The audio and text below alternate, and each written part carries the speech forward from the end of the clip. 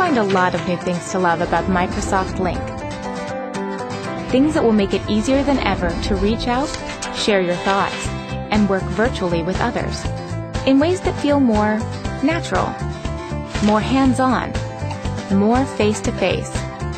You'll notice one big change the very first time you use Lync. All the friendly faces smiling back at you from your contact list.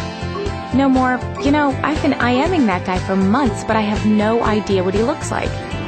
Lync's new photo UI helps you connect names with the actual faces who own them. And the expanded contact cards, available wherever you see presence, includes lots of valuable up-to-the-minute info, like all your contacts' phone numbers, who they answer to, and who answers to them, what they're working on right now. It even shows when they're likely to be available, so you can reach out for an IM conversation, a video call, or maybe a little desktop sharing session. Lync lights up Microsoft Office with the power to click and connect in real time, directly from Outlook or Word or whatever application you happen to be using. Its new UI combines conversations, sharing, and meetings into a single application, so you can bounce some ideas around. Share your desktop. Or take everyone through that PowerPoint you've been working on.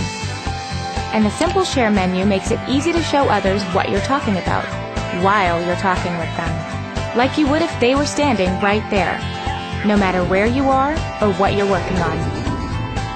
In fact, with Lync, you can gather your entire team from wherever they happen to be located and virtually transport them right to your desktop, where you can collaborate and get things done together.